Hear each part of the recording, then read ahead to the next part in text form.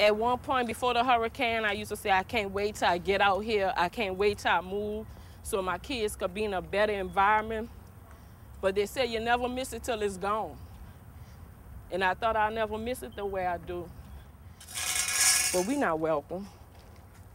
They're trying to make it more for tourists, trying to make it like Las Vegas, where all the rich people stay within the city limits and all the poor people, poverty-stricken people live on the outskirts of um, New Orleans.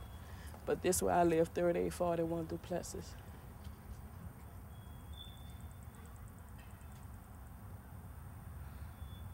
We, we live like normal people. We have happy times. I miss, my little girl was a cheerleader for Willie Hall Polk.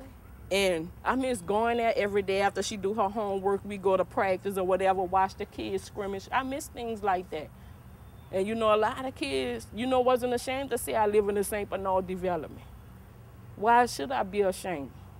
Deep down in my heart, I know this is what they want to do. They've been wanting to do this, and they're just using a natural disaster to do their dirty work.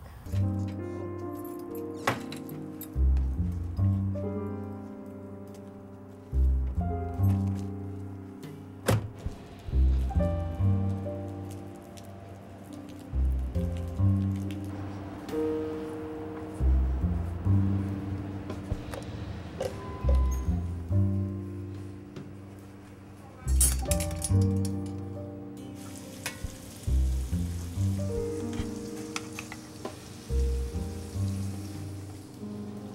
love cooking. Make me feel good, especially when they compliment us. You know, they compliment us on our good services and our great food. I have a couple of more people in here from public housing, but I, you know, I can't say it. But they work and work hard.